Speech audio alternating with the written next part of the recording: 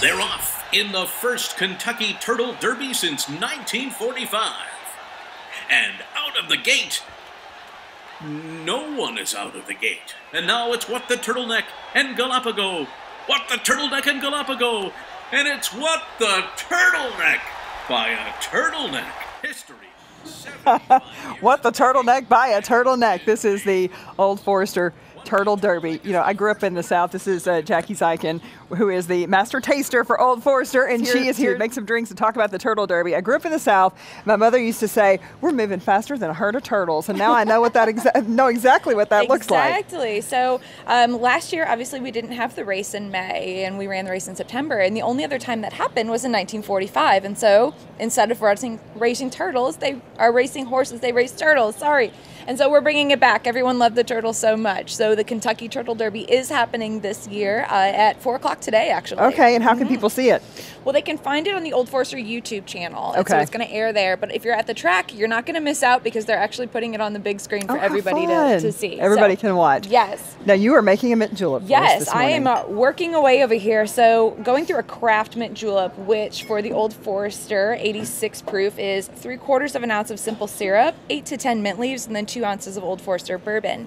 Now, if you come out to the track, or not even just today, on any day, the julep that you get is the Old Forester mint julep. It's the official julep of the Kentucky Derby. Okay. But to go through it uh, with the muddling and everything else, uh, if you don't want to mess with the, the mess, then it's right there available can- for you you from can your get it local in a bottle, right. Yes, absolutely.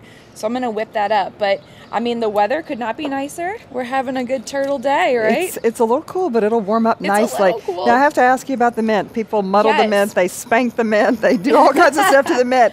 Is there any is there any risk of overdoing it? There definitely is. So Okay. I use a flat-bottomed muddler, not a muddler with teeth. If you use a muddler with teeth, it breaks it up too much and makes it very, very bitter. You don't Okay. want that. Nobody wants a bitter julep. Correct. But um, yeah, other than that, though, no, it's it's easy peasy. It's just like I said, it's labor intensive, you know. And if you're entertaining at home, sometimes it's just easier to be able to pour it straight over Right. ice.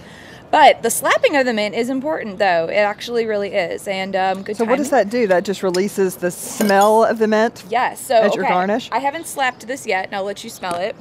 It smells like mint, right? But, I not mean- very right. fragrant. so if you just hit it on the back of your hand a little bit, and then smell it. Ooh, wow, that's bright. exactly. So you always want to kind of wake it up and break it open. And when you have that as a garnish, it's sort of that's what you Yeah. get first when you sip your mint Exactly. julep. Exactly. All right. Well, thank you, Jackie, for Thank making us a mint julep. Happy Derby. Happy Derby to you.